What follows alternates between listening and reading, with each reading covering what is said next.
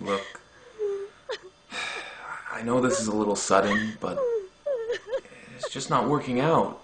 You know, I, I just don't have anything in common anymore. I mean, you like ballet, and I like hockey. You like being fat and ugly, and I don't like fat and ugly people. You enjoy.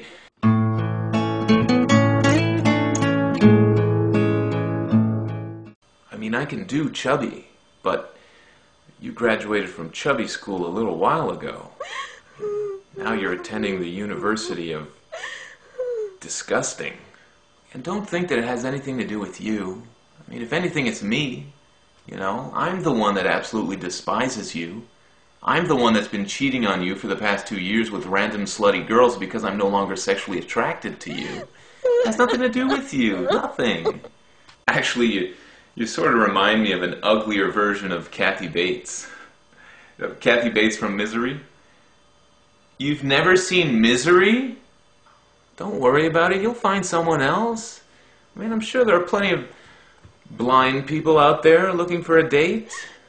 Well, I mean, as soon as they touch you, they'll quickly realize their mistake, but you could probably squeeze in a couple dates before that happens. Misery, you know, the, the crazy woman, she kidnaps the writer, played by James Caan. James Caan, he's Will Ferrell's dad in Elf. Look, I know this is hard, but if all else fails, you could always kill yourself. You know, you can't feel pain when you're dead. Oh, no, no, no, no, no, no, no, no, no, don't do that because if you do that, I'm going to have to raise our one year old son.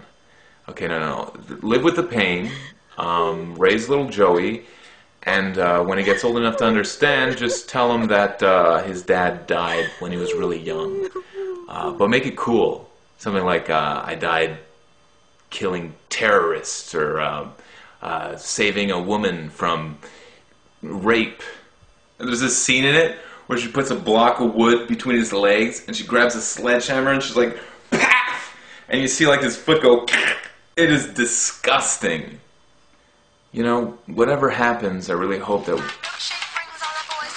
Sorry, gotta take this. Hello? Mmm, hey baby. Yeah, I'm good. No, I'm just uh, breaking up with the old one. Yeah. How's she what? How? Okay, hold on a second. Can you just keep it down a bit? Oh, how's she taking it? Oh, she's doing fine. She's a big girl. she is a big girl. okay, well, I have to go. Um, listen, uh, take care of yourself, and, uh, you know, who knows? Maybe in a couple of years, when you're 18, we'll cross paths and fall right back in love. Highly unlikely, unless you lose the weight. But uh, let that be a goal for you. Let that be a goal for you. Take care.